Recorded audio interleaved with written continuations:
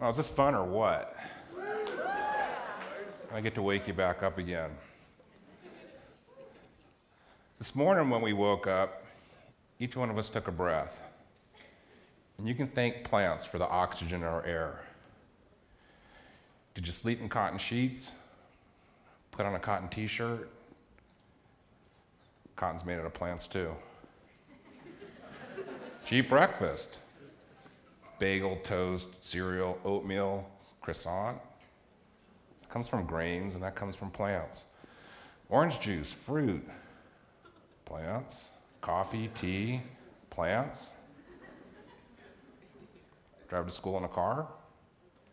Gas comes from oil. And oil comes from millions of plants breaking down over billions of years.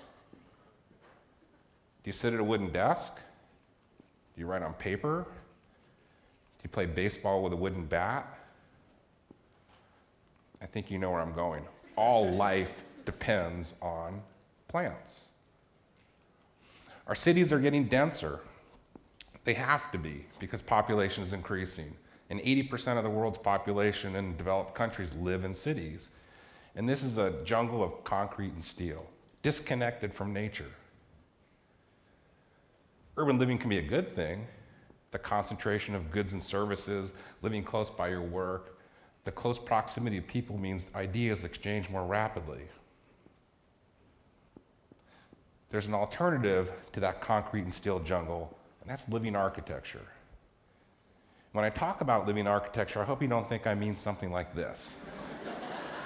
Because I think they should have pruned those trees just a couple of years ago.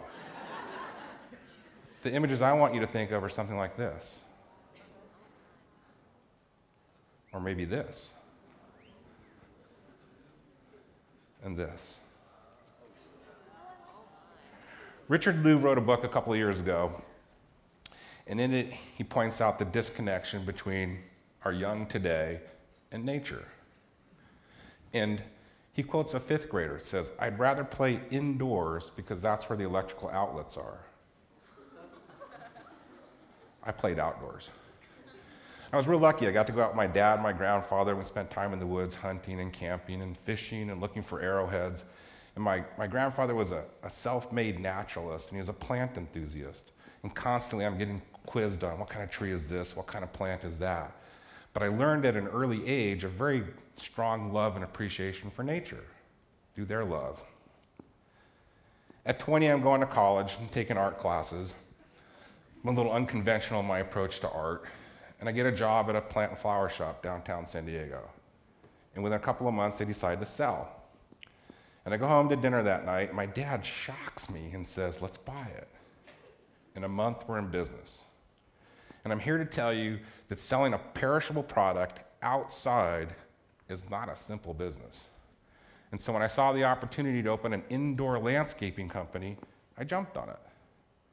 And here I saw that intersection between nature and art. And immediately I say, hey, we're supplying to our clients living art.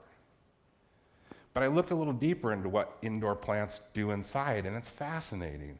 In a workspace, productivity goes up, absenteeism goes down from plants. Students do better on tests. And in hospitals, when patients have a view of a landscape or plants, they recover more quickly, they use less pain medication, and they complain less. There's a lot of studies that show this. This is pretty interesting. Years ago, Dr. Wolverton did studies for NASA, and they showed just how well plants will take toxins out of our indoor air. And amazingly, because our buildings are sealed up these days, indoor air can be more polluted than outdoor air. The off gassing from carpet and drapes and paint and computers makes it more unhealthy. This is truly a living, breathing biofilter wall. It takes bad air in through the front, filters it through plants and roots and, and leaves, and pumps good air out the back. So business is pretty good. My wife and I built a big house up by Ramona. Because of my background in the environment and nature, I made it sustainable for, before sustainable was really a word. And that whole house vented through a cooling tower. And we had solar water heater, my laundry and shower water watered my garden. and I collected plants and I built this front walkway with a pond in it. Life was good. And 10 years ago, I go to bed on my birthday, and a few short hours later, the cedar fire take my house. This will set you back a little bit. But my first thought really was scrape it and build a new one. Unfortunately, my wife's first thought was let's get a divorce. That's not funny. These are dark, dark days. But in the back of my head, that that does not kill you makes you stronger. That that does not kill you makes you stronger. I wasn't going to let this take me down. And so I did a very, made a very costly decision. I stepped back from my business and really began to explore, say, what's next? I got a do over. What's new? And I remembered a few months prior to that, I'd seen what's called a green roof modular tray. And this is a plastic tray about four foot by two foot, and you plant it with low growing plants. And you put these up on top of a rooftop times 100 or 1,000 or 10,000. And I honestly thought this is the stupidest thing I've ever seen. Why would you do that? I didn't know it could look like this. And when I asked architects what they knew about it, they were more interested in what I knew about it. That resonated. So I asked a friend of mine, McCray Anderson, and he made it real simple for me. He said it's nothing more than a very large, shallow pot up on top of a roof.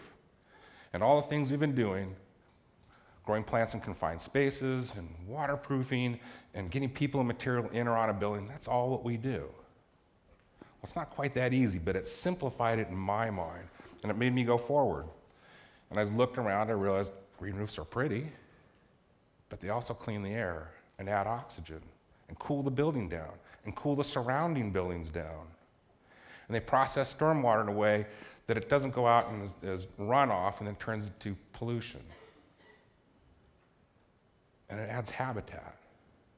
Talked to a couple girls earlier that said, Ew, bugs on your roof. Bugs and insects are a good thing. And so, is this an island of habitat or stepping stones for birds and insects? And I think one of the neatest things, you think about all this unused landscape up on top of a roof. You can grow food up there, a rooftop farm. A couple of years ago, Iron Chef Mario Batali came to me, his team, said, Hey, we want to put a rooftop farm on our pizza restaurant up in Hollywood.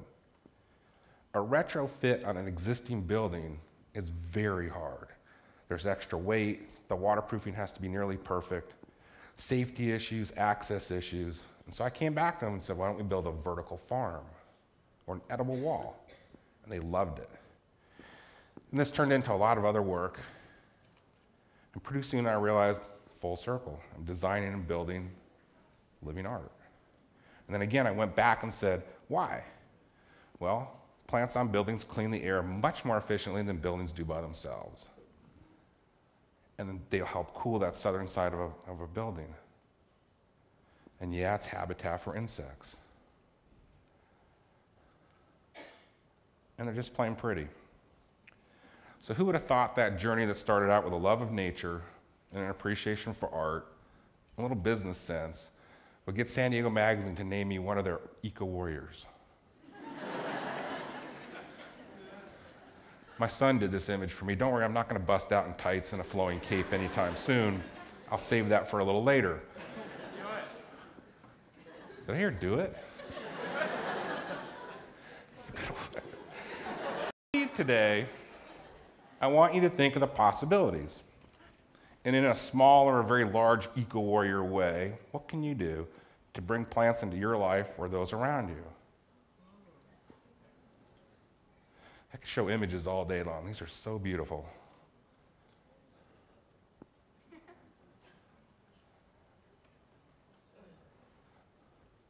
It's a rooftop farm. Look how big that is. So take with you, please, and remember plants are essential to life. They're beautiful, they're art, they're easy, and they're an inexpensive way to improve your life. Thank you.